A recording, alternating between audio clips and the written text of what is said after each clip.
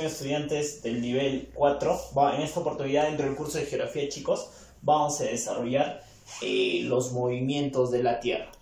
Eh, dentro de los movimientos que tiene la Tierra eh, son dos principales.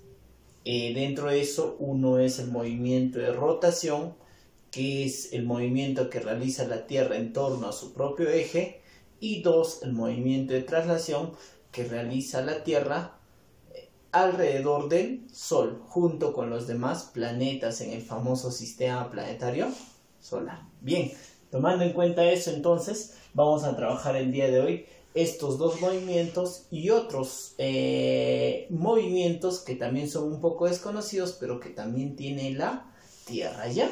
Listo. Entonces, en primera parte vamos a tomar en cuenta eh, como número uno el movimiento de rotación. Como te digo, es aquel movimiento que realiza la Tierra sobre su propio eje, ¿no? Sobre su propio eje imaginario que nosotros acá lo podemos visualizar de color rojo. No nos olvidemos que este eje, específicamente la Tierra, tiene una respectiva inclinación eh, respecto al plano de la eclíptica en cuanto a la posición del Sol. ¿De cuántos grados es? La inclinación es de 23 grados 27 minutos. Eso es la inclinación, ¿no? Esto es la inclinación que va a existir desde este espacio a ella. Muy bien. Esta línea imaginaria va a generar específicamente el movimiento de rotación. Eh, el núcleo, eh, el NIFE, específicamente el núcleo interno y el núcleo sólido, va a generar a, que la Tierra genere su movimiento de rotación. ¿Y cómo es su rotación, profesor? Miren esta primera parte, jovencitos, vamos a tomar en cuenta la dirección. La Tierra específicamente va a girar de esta manera. Miren, de oeste a este. Tengan en cuenta, por favor, ¿ya? Esto es la posición. Y esto va a determinar qué cosa? Que en las ciudades que se encuentren más al este van a tener la hora más adelantada y las ciudades más al oeste van a tener la hora más atrasada, justamente por este movimiento de rotación. Hay que tomar en cuenta. Entonces, esto es su dirección. Igual manera, la velocidad que va a determinar dentro de ese movimiento de rotación es de 28 kilómetros por minuto. En un minuto, la Tierra ha recorrido 28 kilómetros. Y profesor, ¿y por qué nosotros no sentimos? No sentimos porque nosotros somos parte de este movimiento. Y es más, en la fuerza de gravedad que se genera hacia el centro de la Tierra, eh, todos nosotros lo cumplimos y es por eso que nos encontramos en este eh, movimiento. ¿no? no te olvides también que estos 28 kilómetros por minuto hace a que nosotros seamos parte de todo este sistema y es por eso que estamos junto con la Tierra a esa velocidad. Pero ¿qué pasaría si se frena, como se dice, la Tierra? Ahí sí ocurriría eh, que nosotros salgamos disparados, Todos los objetos, los mares, nosotros saldríamos disparados. Pero la Tierra constantemente está en este movimiento de rotación a esta velocidad por minuto. Y si quieres transformarlo eh, ya en cuanto a una hora, ya tendrías específicamente que multiplicarlo. 60 por 28 y te sale en una hora cuánto ha recorrido. Bien, ahora, dentro del tiempo, una vuelta entera de nuestra Tierra en su movimiento de rotación lo va a realizar en 23 horas, 56 minutos y 4 segundos. ¿Cómo se llama específicamente este tiempo exacto que tarda en dar una vuelta entera a la Tierra sobre su propio eje? El día sideral. ¿Y qué es el día sideral? Es la hora exacta de rotación de la Tierra. De igual manera, otro se considera como el día civil. ¿Qué es el día civil? Son las 24 horas, ¿no? Las 24 horas que se van a determinar. ¿Y para qué se determinan las 24 horas? ¿Y por qué se llama día civil? Porque esto toma en cuenta el hombre para poder realizar sus actividades y sus labores. ¿Está bien? Listo. De igual manera existe el día solar, pero eh, esto ya se toma en cuenta respecto a la posición del sol. Eh, a partir de mediodía, cuando el sol se encuentra, ¿cómo se dice? Eh, en la cabeza de las personas. ¿Está bien, jovencitos? Día era día civil y día solar. ¿Cuál usamos para realizar todas nuestras actividades? El día civil. De igual manera, el sentido que va a realizar eh, en su movimiento rotación desde el norte es visto desde un sentido horario y desde el sur es un sentido antihorario que nosotros podemos visualizar. Entonces, miren, todas estas son los criterios que se toman en cuenta dentro del movimiento de rotación. Más que esto, jovencitos, acá vamos a ver qué consecuencias nos trae ese movimiento de rotación, ese movimiento de rotación que gira la Tierra en torno a su eje, ¿no? Al eje terrestre. Una de las primeras consecuencias, acá vamos a visualizar, es específicamente la sucesión de los días y noches. Cuando la Tierra específicamente va girando, en una parte de sus hemisferios es de día y en la otra parte es de noche y así sucesivamente. Entonces la principal consecuencia en el movimiento de rotación es la sucesión de los días y noches, ¿no? ¿Está bien? Dos, igual manera, la forma de la Tierra eh, que va a adoptar. De, respecto a la forma de la Tierra, vamos a determinar eh, dentro de esto que la Tierra, eh, por el movimiento de rotación y por la velocidad, va a adoptar una forma, que es ensanchado en el ecuador y achatado en los polos. Como te hacía mención entonces, eh, de acuerdo al movimiento de rotación, eh, como te hago mención, la Tierra va a ser ensanchada en el ecuador y achatada en los polos. ¿Debido a qué? Debido a, a la velocidad. La mayor velocidad de 28 kilómetros por minuto se va a realizar en la línea ecuatorial mientras la velocidad de 0 grados eh, o la velocidad de 0 kilómetros eh, se va a determinar en los polos. En los polos es una rotación eh, nula. ¿Por qué? Como te hice mención, de acuerdo a esta forma que está generalizando a la Tierra. De igual manera, cuando hablamos que la Tierra es ensanchada del Ecuador, es por una fuerza centrífuga las fuerzas que botan hacia el exterior. Y achatar en los polos es porque hay una fuerza centrípeda que atrae hacia el centro específicamente esta forma. Entonces determinemos, ¿ya? Vamos con un repaso. Primer aspecto, la sucesión de los días y noches que me genera el movimiento rotación y la forma de la Tierra que es achatada en los polos y ensanchada en el ecuador dos características o dos consecuencias del movimiento rotación. Otro, determinación de los puntos cardinales. Eh, tomando en cuenta este aspecto, acá podemos visualizar que no, siempre eh, eh, el eje terrestre, específicamente esta parte, va a apuntar hacia la estrella polar. Y esto siempre nosotros catalogamos nuestro norte, ¿no? Y si esto es el norte, será el sur y de igual manera ya generalizamos el este y el oeste. Entonces se aparecen los puntos cardinales en el movimiento rotación. De igual manera, el movimiento aparente del Sol y la Luna. No es que específicamente el Sol y la Luna estén moviéndose, sino lo que se mueve es nuestro planeta Tierra por este movimiento, 28 kilómetros por minuto. Obviamente el Sol junto con todos sus planetas lo va a hacer alrededor del centro de la Vía Láctea y la Luna también lo va a hacer alrededor eh, de la Tierra. ¿Por qué? Porque son astros que se van a regir mediante las leyes de la gravedad. De igual manera, la activación del campo magnético, jovencitos. Eh, esto específicamente, como te hacía mención, el núcleo eh, se divide en dos, en el núcleo sólido y el núcleo líquido. Esto va a originar eh, que se genere o se active un campo magnético. ¿Y para qué? Para que los cuerpos extraños que vienen del exterior no impacten sobre el planeta Tierra, ¿no? Esto es la famosa magnetosfera que va a evitar específicamente a que los cuerpos ingresen y que se active nuestro campo magnético. Acá en esta partecita nosotros lo podríamos visualizar si esto es el planeta Tierra. Acá estamos determinando esta partecita que va de polo a polo sería la activación del campo magnético, ¿no? Ahí está la activación. Esto de acá de rojo sería el campo magnético, la famosa magnetosfera. ¿Y desde dónde se ha originado?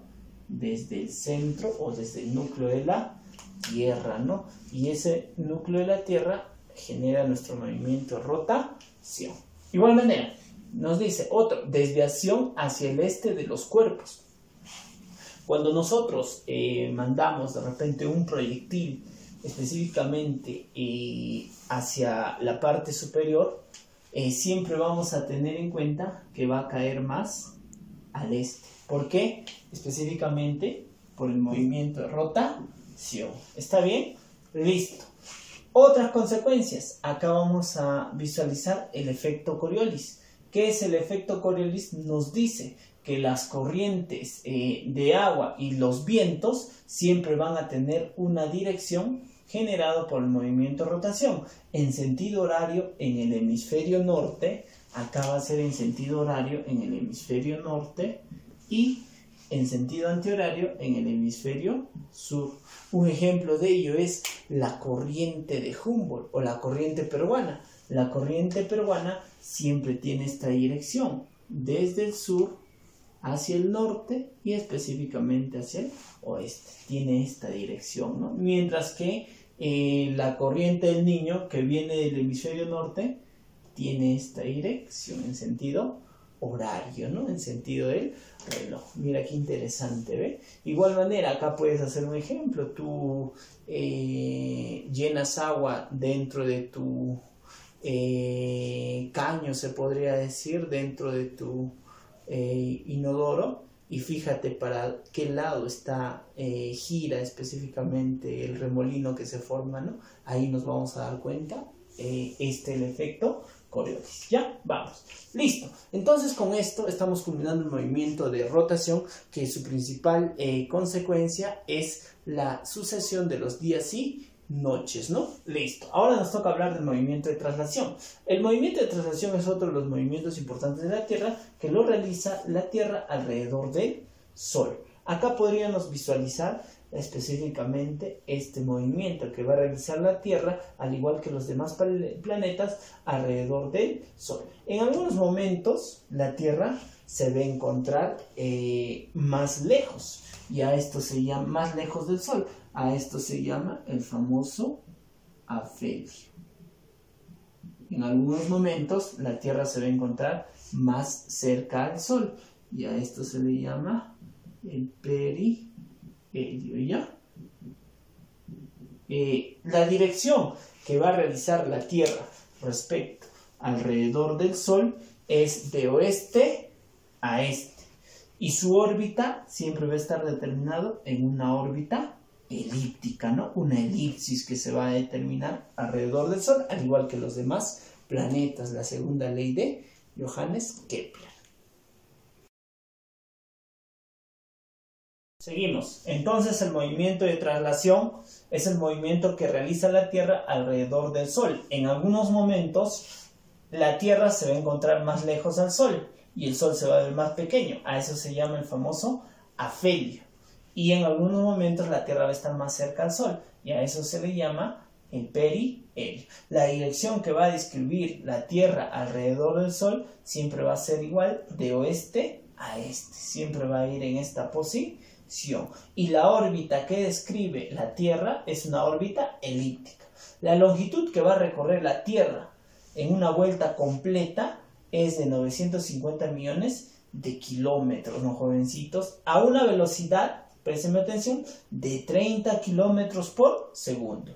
En un segundo, la Tierra alrededor del Sol ya recorrió 30 segundos. Ahorita, ¿no? Ya la Tierra recorrió 30 kilómetros por segundo. Vamos. Su sentido, de igual manera, este sentido va a ser en sentido antihorario, ¿no? Que vamos a determinar. Y el tiempo que lo va a realizar eh, nuestra Tierra en dar una vuelta completa es de 365 días, 5 horas, 48 minutos y 45 eh, segundos. A esto se le llama el famoso año sideral, ¿no? El tiempo exacto.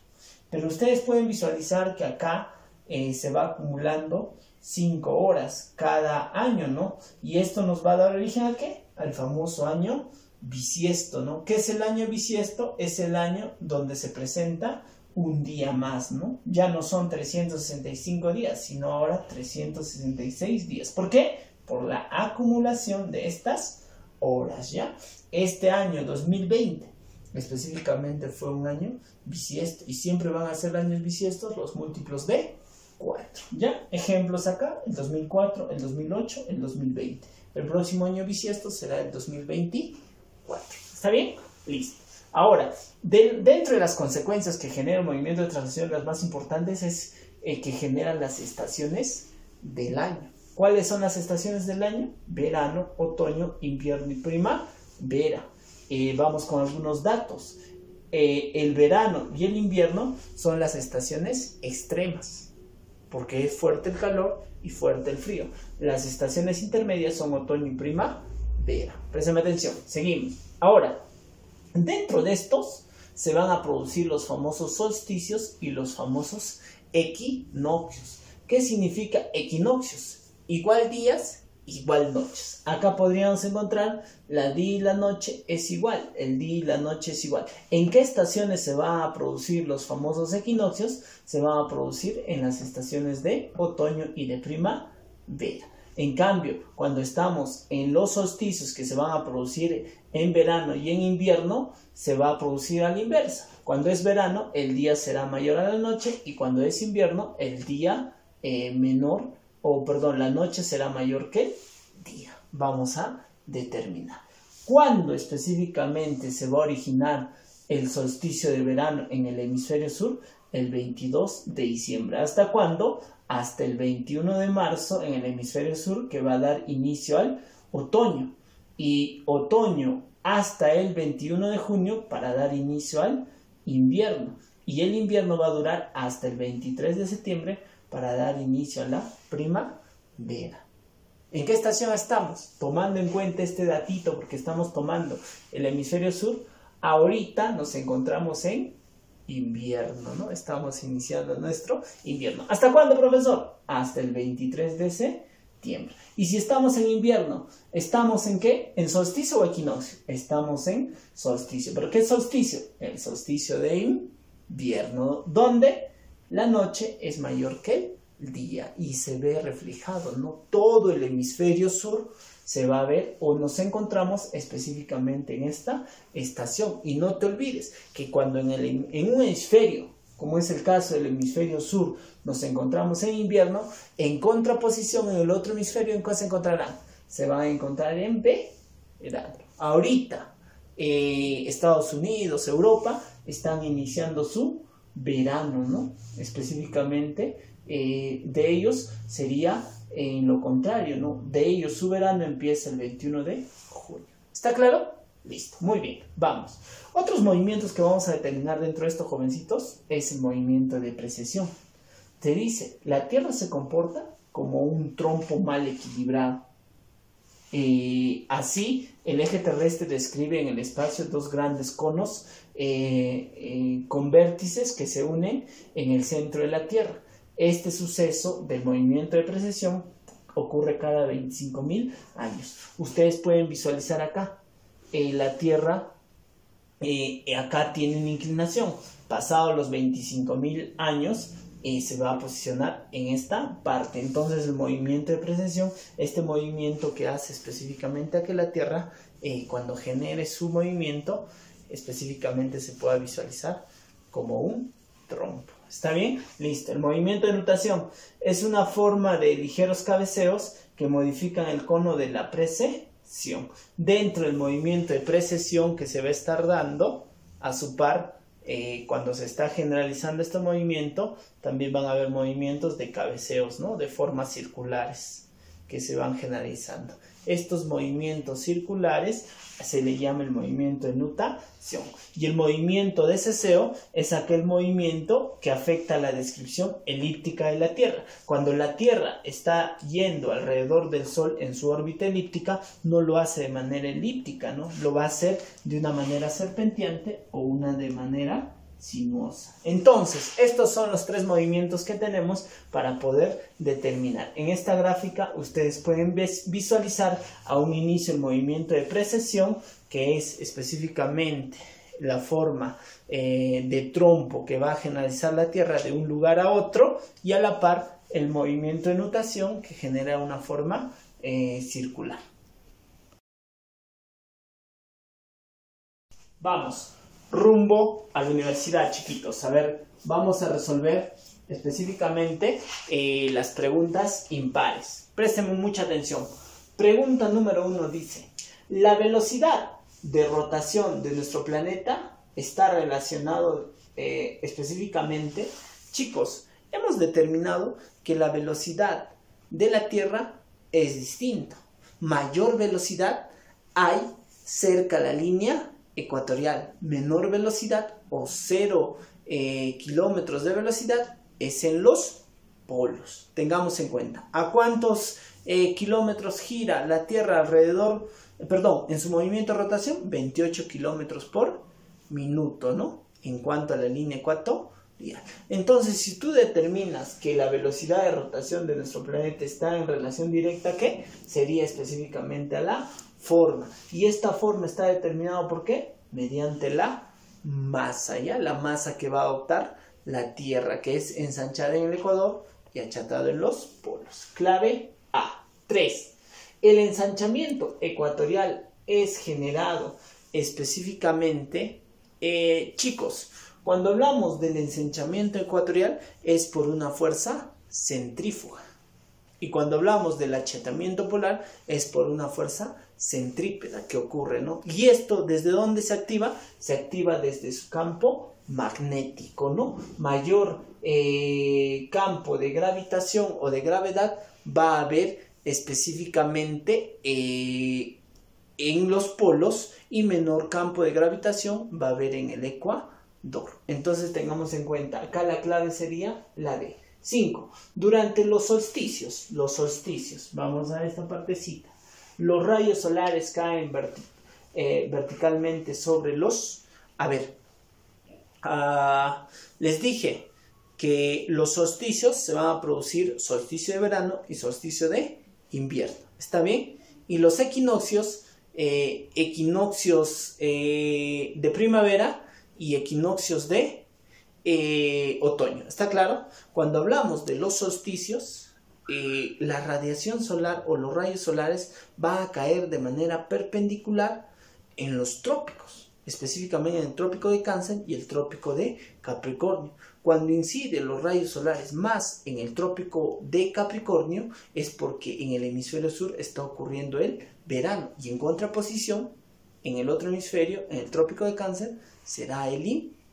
Entonces, la respuesta acá será durante los solsticios los rayos solares caen verticalmente sobre los trópicos. Clave, beso. Listo, 7. El perihelio se origina como el movimiento de Hemos visto acá que el perihelio es el movimiento, es, o perdón, es cuando la Tierra se encuentra más cerca del Sol. ¿Y qué movimiento va a generar? El movimiento de traslación, clave enano. Listo. Eh, las estaciones extremas están comprendidas por, les he dicho que hay dos tipos de estaciones, las estaciones extremas, verano, invierno, y las estaciones intermedias, otoño y primavera. ¿Y en qué, eh, y qué debe de ocurrir para que se produzcan estas dos estaciones extremas? Los famosos solsticios. Clave D. Mírame, qué facilito. Muy bien, estamos resolviendo ya todo nuestro compendio eh, académico en la semana concerniente 10. Eh, Ahora, no te olvides dentro de la actividad de resolver los números pares, ya que mi persona resolvió los impares en tu módulo. 2 eh, tienes que transcribir eh, toda la pizarra en el cuaderno y no te olvides de usar tu creatividad usando los respectivos gráficos. Muy bien, eso sería específicamente toda la actividad. No hay lectura en esta semana dentro eh, del módulo, ¿ya? No hay una lectura. Entonces vamos a omitir la número 3. Eso sería todo, jovencitos. Hasta la próxima.